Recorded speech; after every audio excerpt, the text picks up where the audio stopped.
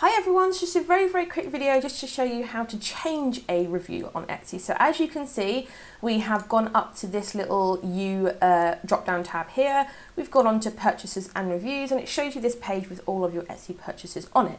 And if you want to change a review, now obviously I'm not going to actually do this, it's just to show you. But let's say for example that you've left a two star and you want to change it to a five star. All you do is you click on these little stars here you can change your review and then you can literally edit everything that you have already put. So for example, if you didn't like an item and a Etsy shop owner has fixed it for you and it's all okay, you can then change your review. So you can literally put anything you want to in here. You can change the star rating in here and then, then you can click post your review.